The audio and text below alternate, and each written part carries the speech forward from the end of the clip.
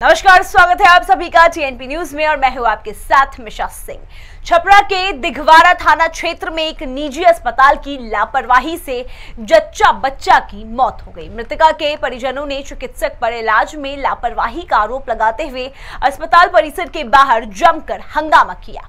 वही हंगामे की सूचना मिलते ही पुलिस ने मौके पर पहुंचकर आक्रोशित को समझा बुझाकर शांत कराया और शव को अपने कब्जे में लेकर पोस्टमार्टम के लिए सदर अस्पताल भेज दिया है। सुबह साढ़े आठ बजे करीब में अच्छा अच्छा है। Dighwara hospital private hospital doctor Sushila Chaudhary के पास हम लोग ले गए।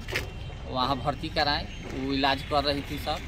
लगभग अढ़ाई तीन बजे करीब में मैंने हम लोग के अंदर मरीज़ के पास नहीं जाने दी। तो हम लोग अढ़ाई तीन बजे हम लोग ज़बरदस्ती अंदर गए मरीज़ के पास देखे कि मैंने मरीज़ का स्थिति ठीक नहीं तो हम लोग बोले कि ना हम यहाँ से लेके जाएँगे हाजीपुर। तो बोले कि ना अभी नहीं ले जाना है कि अभी दो घंटा के बाद चार पाँच बजे के पहले आपको नहीं छोड़ेंगे। तो इसमें कच्चा बच्चा दोनों मरा? है बच्चा भी मर गया। तो जब हम लोग यहाँ से ले जाने क्रम में अल्ट्रासाउंड भी कराने गए कि हम कराते हैं डॉक्टर भी गई। वहाँ अल्ट्रासाउंड के देखते डॉक्टर बोला कि ना बच्चा सुबह ही डेट कर दिया